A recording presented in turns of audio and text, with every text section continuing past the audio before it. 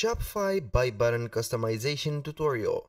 Hello guys and welcome to this new tutorial. Today I'm going to show you how you can customize the buy button into your Shopify store. It is very easy and also very limited. All you need to do is to follow up the tutorial from the beginning till the end and you will be good to go. The concept here on the buy buttons of Shopify is very limited. If you are or you know how to code, it will be very easy for you.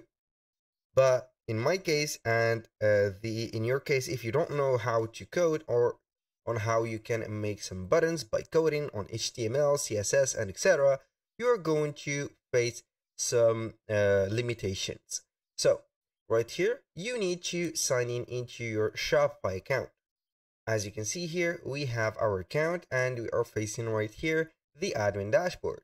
Now, all we need to do is to head over right here, the online store.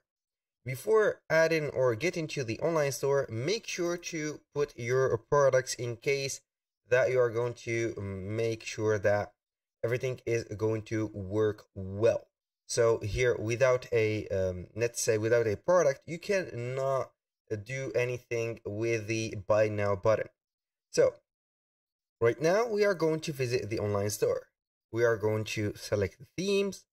Then we are going to customize our current theme or the theme that you are going to make some um, tryings to modify these buttons. So we are going to click on customize because here uh, the down is our current theme as you can see here, we have opened the theme editor or the Shopify theme editor. We have the products, we have etc. everything.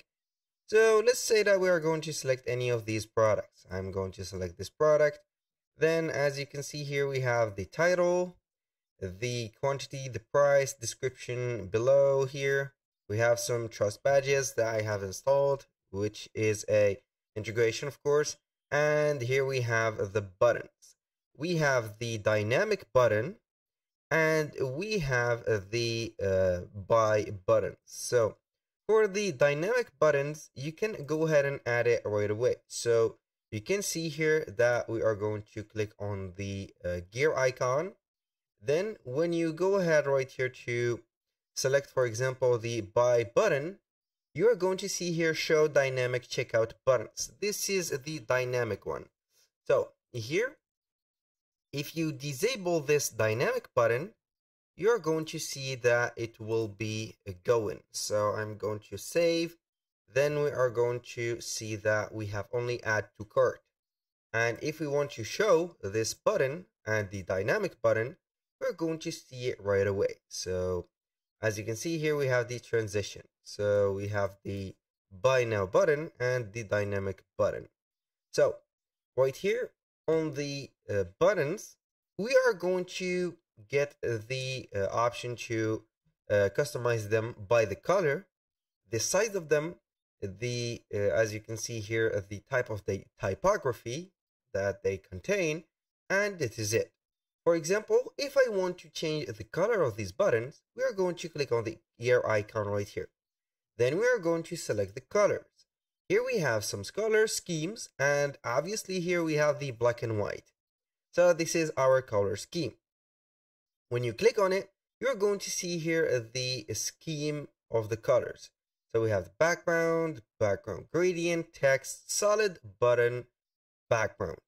As you can see here, we have the solid button background. This is the background.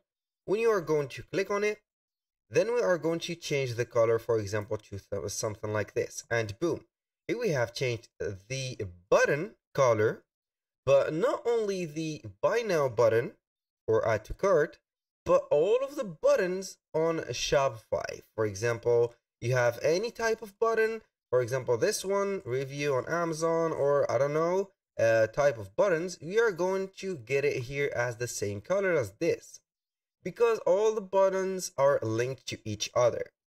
For example, I'm going to put it here this gray. So now this is for the solid button background. Now for the solid button label, which is the text right there, you are going to see here what color that you are going to put. For example, here we have this one. I have put this blue, or you can put it as standard and white. So that was for the um, buttons or the background of buttons. For example, you can uh, go ahead and modify the uh, outline button. Here we have the add to cart. We have an outline of uh, uh, dark here outline. So I'm going to click on blue and as you can see, it has changed to blue. So we are going to put it red because it is more appearing. So here we have it red. Now I'm going to let it uh, gray. So I like it gray like this. Boom. Here we have it.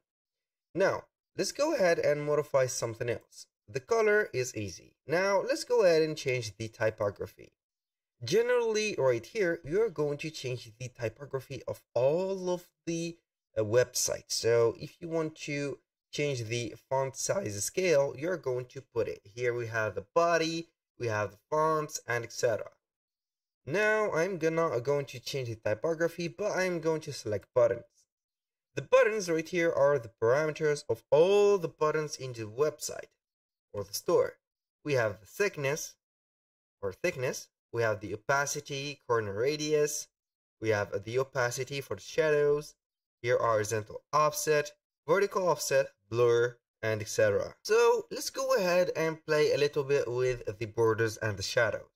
For thickness, if I want to uh, here augment or increase the thickness, I'm going simply to put it here, upgrade it to 3 pixel.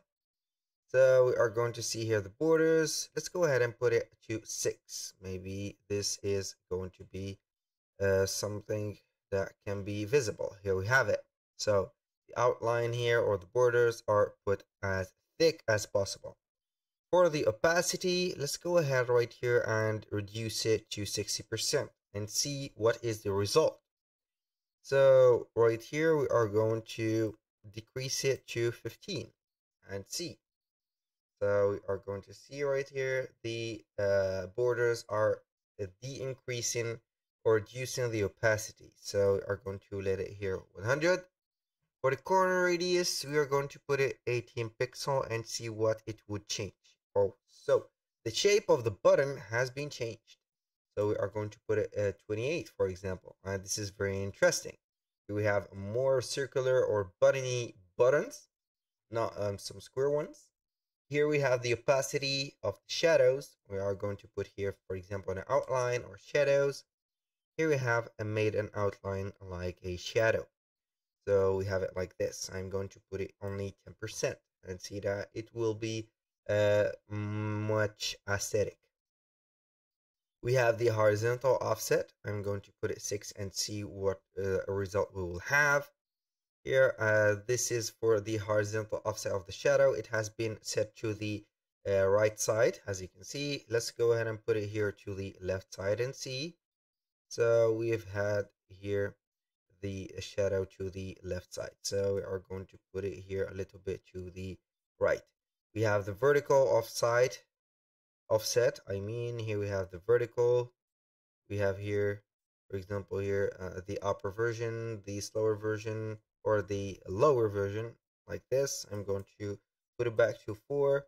We have the vertical offset, we have the blur. So we are going to increase the blur by 5. So we are going to see here something more blurry. I want to see how it will look. So this is for the shadows. They are fully blurred. So we are going to reduce that. And it will be setting them more appearing. And that was all for today's video. Thank you guys for watching. I hope that you have enjoyed the content. I hope to see you soon on the next one.